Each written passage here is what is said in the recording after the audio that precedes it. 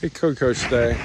One thing to talk about with a footing or any type of slab inspection is the next stage, which is rating of walls and setbacks.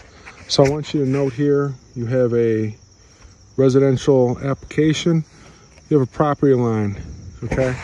You wanna maintain and establish a good property line and setback distance because the code talks about within building elements within five foot of a property line.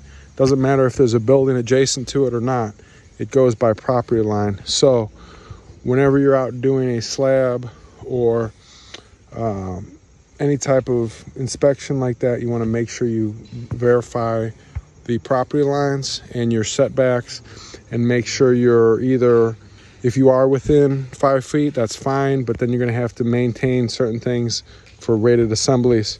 So it's just something to look at so that down the road it can help you out a little bit.